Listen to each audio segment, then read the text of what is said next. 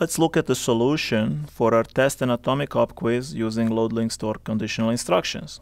So we said that the first two instructions of the new test and atomic op approach are the same. Put 1 in R1 and then load from lockvar to R2.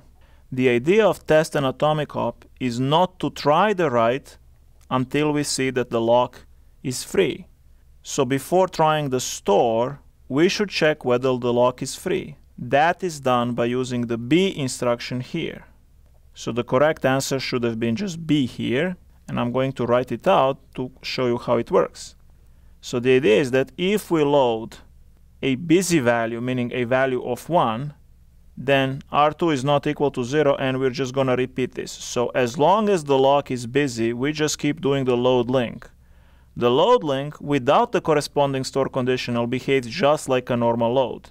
Yes, it's setting the link register every time, but we are not checking it, so it's just the same as if we didn't. But things get more interesting once we actually see an available value of the lock. Then we try to do a store conditional. So now we should use the A instruction. So we have seen that the lock is free. Now we try to get it. And after this, we need to check using instruction C whether we actually got it.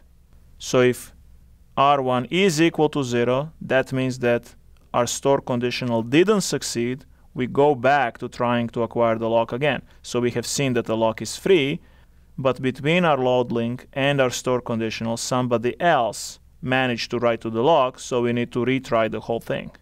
So after our load link, we check whether the lock was free. If so, we try the store conditional. If we succeed, then we got the lock.